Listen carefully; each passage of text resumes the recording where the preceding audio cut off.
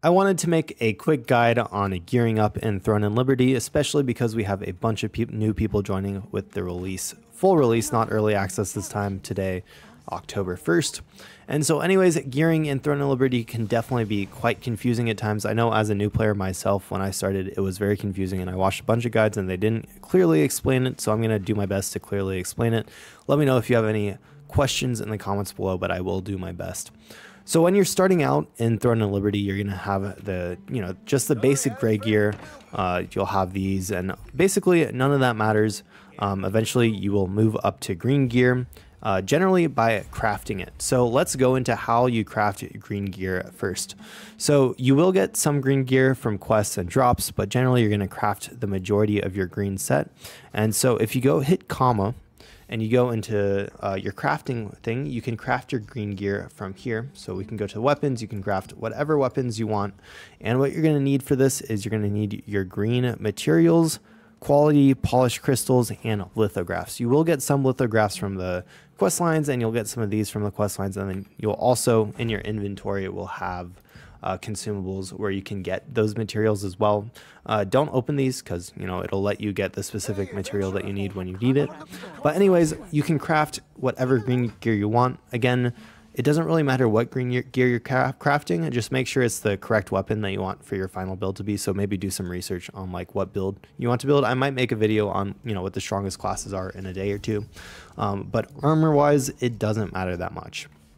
So once you've crafted a an entire set of green gear, so you'll have full green armor and then all green accessories and two green weapons, you'll start thinking about getting blue gear. Now, blue gear, generally, I haven't actually crafted any of it yet.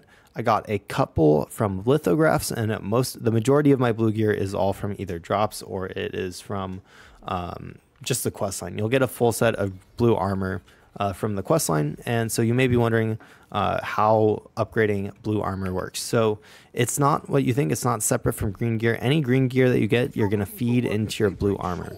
And so basically, when you go into your equipment enchanting with uh, the hotkey period, you can take any of your green gear and say we want to upgrade, we don't have it right now, but say we want to upgrade uh, you know these boots right and say they're level zero so you can take your green boots and basically you're going to want to level them up to level 6 as level 6 is the max you always want to this is really important you always want to fully max out your gear before you inject it into or transfer it into the next level of gear. So make sure that your green are level 6 before putting them into blue, and then make sure your blue are level 9 before putting them into purple. And this is important because it is harder to get the higher quality growth stones. As you can see, it takes green growth stones to level up a green armor piece, takes blue to level up a blue armor piece, and it takes purple to level up a purple armor piece. So that's why you want to feed in a max level, lower level thing. So basically, you're going to want to get this max level green set on all of your pieces.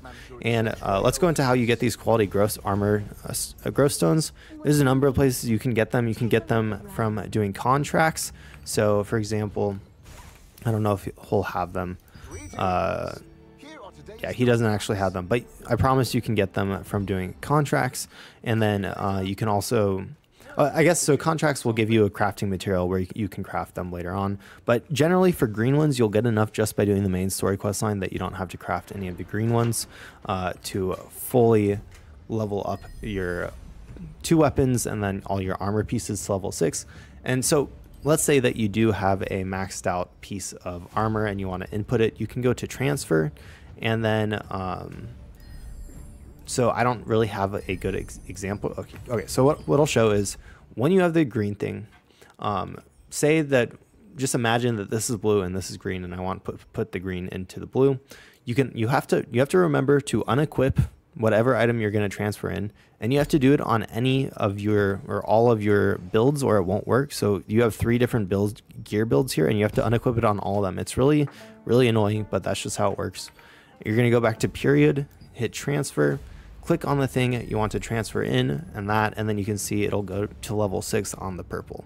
Now I'm not going to do that right now because it is much harder to trade blue armor, which I won't get into right now, but basically it's not worth it for me to use purple yet. This is also not the purple that I want to use. Um, but yeah, so that is how you transfer levels in, and just know that you always want to max out um, your gear before transferring it. So see, I need to max out this cape to level 9 before I transfer it into a purple cape, and same with the other things. So let's uh, cover lithography real quick, as that is how I got a number of my uh, blue pieces, including the rings, um, and I think the neck or one of the rings, one of the necklaces, and um, I think everything else I probably got from just the main story quest line. So if you go into your main menu and go, you go to your lithograph book, there are a number of different things that you can do here. Um, but if I go to my favorites, so the elemental rings, this is how I got the violet signet uh, blue ring. Basically, if you get four of these green rings, and again, you can craft these green rings by getting, getting the uh, green lithographs and crafting them in your crafting menu. Uh, we went over that earlier. And once you get all four of these, you just input them and then you get a nice blue ring from it. So that's an easy way to get that. And then um, I'm not exactly sure where it would be. It should be here. Let's just go down to the bottom. Yeah, so I also did these cloaks to get a nice blue cloak as you don't get a cloak from the main story quest as well. And uh, the Deadeye cloak is pretty good also. So that's how I got my cloak and my extra blue ring. Sophia's Ring of Strength you will get from uh, the main story quest line. And then Sophia's Necklace of Strength, the way you get that blue gear is if you go to, let's see, once you unlock it, if you go to Syleus's Abyss and you finish the like extra content that it has, like the side quest basically, once you finish all the side quests there, uh, you will be rewarded with this blue necklace. And as you can see, all I have left is to get a blue, uh, blue bracelet and a blue belt, which I am working on. I do have this blue bracelet, but I'm not a big fan of it straight, so I'm probably going to work on getting a different one. Same with this necklace. So I already have a green neck or a blue necklace that I personally think is better. So anyways, that is how you gear out your things to blue and green and how the upgrade system works. Hopefully that, you know, shed some light on it and made it look a little or made it a little bit more clear on how that works. Again, it was really complicated when I figured it out. It's just so not uh, it's, it's very again it's very mobile game esque. It's not um, you know obvious on how it works and stuff. So uh, one last thing that I want to touch on is traiting. This is really really convoluted and um, this is sort you know more of the pay to win aspect of the game for sure. So I'm just gonna cover real quick. So there's this thing called traits, and as you can see on this sword, you have the damage and then the damage reduction, then you have attack speed, range, and shield block chance. Then below it, you see a construct bonus damage 40 and max health 1270. And below that, you see traits. So as you can see, you can have three different traits. We only have the first one unlocked, and we have a hit chance of 20 for the trait on this. Okay, so I have two examples here. So first we have this Golem Shattering Sword, which has, as you can see, the same trait, hit chance 20 on there.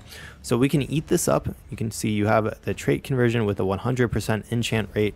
If we were doing this with a green version, then it wouldn't have 100% enchant rate. But we will do enchant, and we're doing hit chance plus 20 to get basically a tier 2 uh, trait. So as you can see, we can do that, and it worked. So it went up to tier 2 trait.